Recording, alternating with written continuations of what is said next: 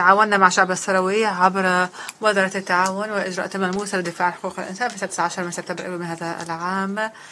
قامت المحكمة الرومانية المدنية بالاعتراف ب وضع اللاجئين للناشط الصحراوي محمد دهان الذي تلاحقه السلطات المغربية لأنه نشط في المدافعة عن حقوقهم الأساسية.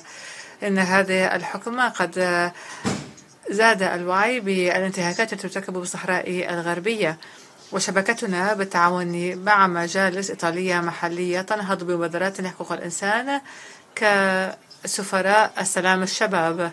لا يمكن لنا أن نؤجل الوصول إلى حل لقضية الشعب الصحراوي. لقد طال انتظارهم لتحقيق مطالبهم المشروعة ونطلب من الأمم المتحدة أن تعترف بالضرورة الملحة لتسريع عملية السلام والنهوض باتخاذ تدابير ثابتة وصارمة ليعقد الاستفتاء الشعبي.